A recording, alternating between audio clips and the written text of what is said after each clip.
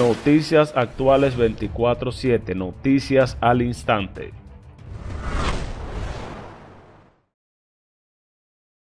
Noticias de Venezuela. Nicolás Maduro es el mandatario peor evaluado de la región por su manejo de la pandemia. Su plan de vacunación también es el peor evaluado.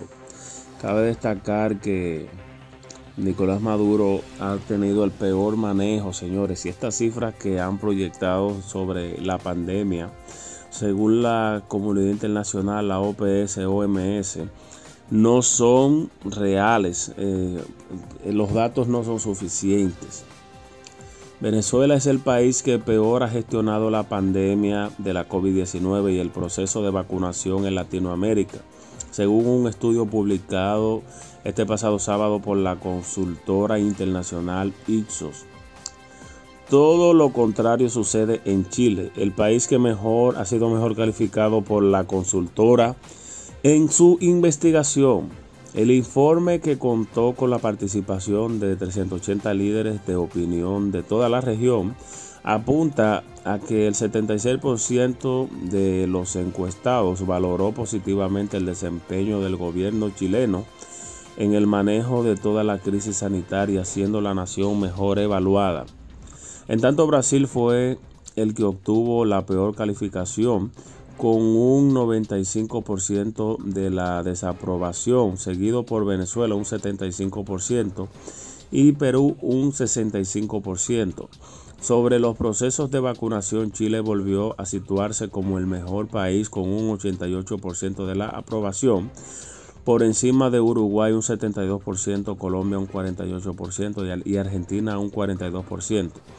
Los procesos de inmunización peor evaluados fueron los de Venezuela con solo un 8% de aprobación, seguido de Brasil de un 13% y Bolivia un 28%. En cuanto a la labor concreta de los mandatarios para enfrentar la pandemia, el mejor evaluado fue Luis Alberto Lacalle Pou de Uruguay con un 68%, de apoyo y el segundo el chileno conservador Sebastián Piñera con un 50% de respaldo.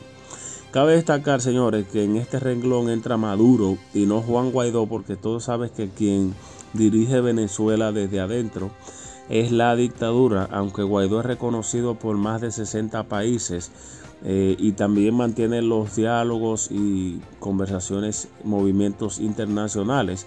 Eh, Maduro es quien es reconocido por la FAM, por los militares y por eso tiene todo el poder dentro de Venezuela.